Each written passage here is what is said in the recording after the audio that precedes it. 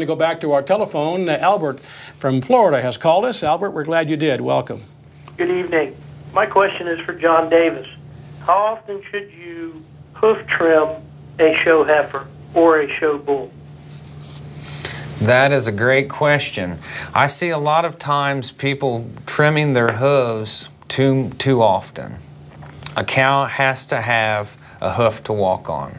And it's kind of like you wearing size uh, two sizes too small shoes, you're not going to get out and you're not going to move as free and easy. What we do most of the time is we trim our show heifers' feet. We trim them twice a year, and we try not to do it any more than that. Sometimes they might need it one extra one extra touch up here and there, but we trim trim our show heifers' hooves in April and then again in October.